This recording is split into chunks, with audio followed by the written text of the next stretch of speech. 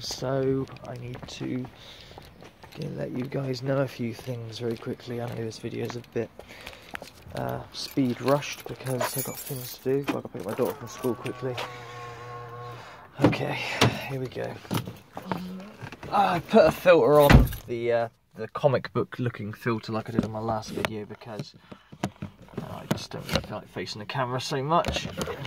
Let's sort of steering wheel out and I'll tell you what's what. It's not good. Um, you know, like we were waiting for results of the MRI for Mrs. Magnitude. Well, the results came in pretty quick. Now, uh, we've known since yesterday. They're not happy with uh, the results. They're not happy. So, they want to do another MRI, um, a more intense one more thorough. I'm guessing, I'm guessing, this is, I haven't told this, I'm guessing dye, put dye in the blood, that kind of thing. Uh, sensitive vascular, I don't know, don't really understand. The doctor was trying not to worry us so much, but seriously says if the symptoms get worse, which they sort of are, she now sometimes can't move her hand or whatever at times, a bit weird, to get in touch ASAP.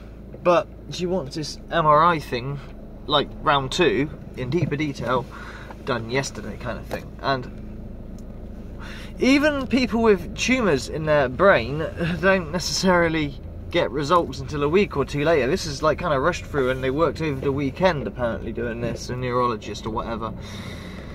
Uh, so, what do I think about it? Well, don't use Google. You shouldn't ever self-diagnose, it'll just scare the shit out of you. But I did just that and so does she.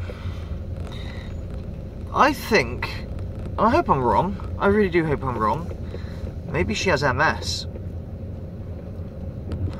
A lot of tick on the symptoms, but you know, we, we don't know, we don't know. I don't want to get you all freaking out and myself freaking out, you know, we are freaking out. But yeah, that's pretty quick to get those results through, at least for England. About other countries and, you know, if you're private or whatever, but for NHS England, that's very fast to get results and say that they're really not happy with it. They called it inconclusive. Mm. But stipulated it's not nothing. It, yeah. So, another MRI is going to happen, it might even be a hospital stay, they warned. It could even be a hospital stay too. Ah. I don't know. It just fuck. So yeah.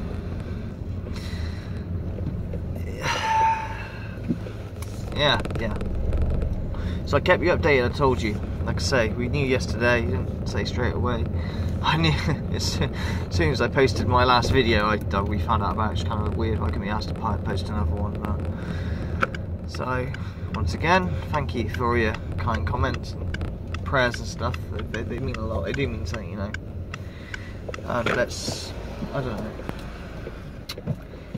Shit. Yeah. Um. Happy fucking Christmas. Yeah, that's it. Happy Christmas.